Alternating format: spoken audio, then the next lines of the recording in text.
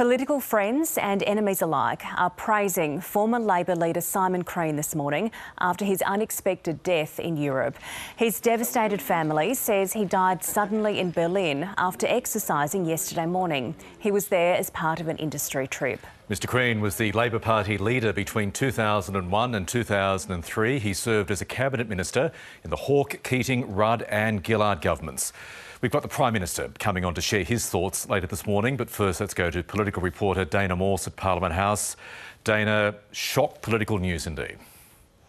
Good morning, Michael. Yes, that's correct. It came as a shock yesterday afternoon when the news of Simon's Crean, Simon Crean's passing broke. He served almost two decades in the federal parliament and held a variety of different roles in that time, including, as you say, Labor leader between 2001 and 2003, and as a cabinet minister in several Labor governments.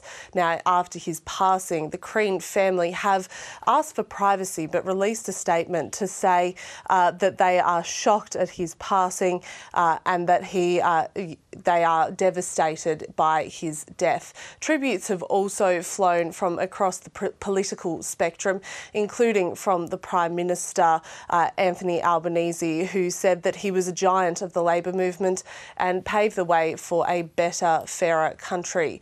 Notably, in his political career, uh, Mr. Crean opposed the invasion of Iraq in the early 2000s. And that's something the successor in his seat, the seat of Hotham, our, our now Home Affairs Minister Clare O'Neil, said was a defining moment in Mr Crean's political career.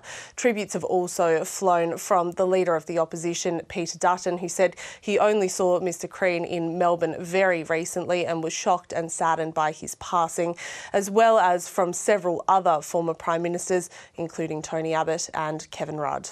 Dana Morse, thank you. And our condolences this morning to Mr Crean's wife Carole and their two daughters.